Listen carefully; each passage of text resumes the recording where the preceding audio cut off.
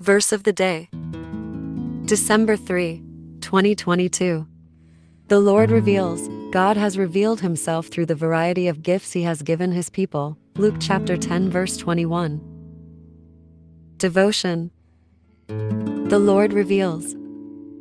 The Lord reveals himself to us in so many ways, and yet so many people doubt his existence. Scientists have been trying to explain creation for years, maybe centuries, millennia. The more they study, the more questions they have and the less they understand. Sure, we can explore space and find galaxies beyond our imagination. Is there another Earth? Are there rational beings on another planet, in another galaxy? They spend so many hours and so much money, and yet they still can't figure out how there are so many species of flowers and why the cockroach will probably outlive us all. Children look at nature in wonder and don't ask why or how come. They are quite satisfied with being told that God did it. Many of the same people who question the existence of God are quick to blame God for natural disasters, evil in the world, birth defects, and anything else that causes pain. Perhaps the wise and understanding think that they are wiser than God, but children don't have such illusions. In fact, I have found that children are better judges of truth than many adults.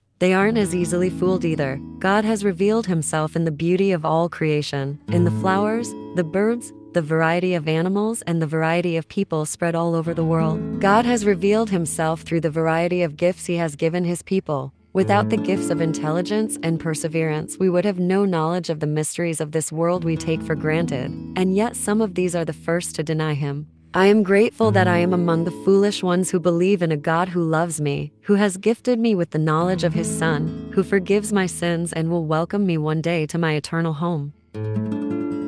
Let us pray.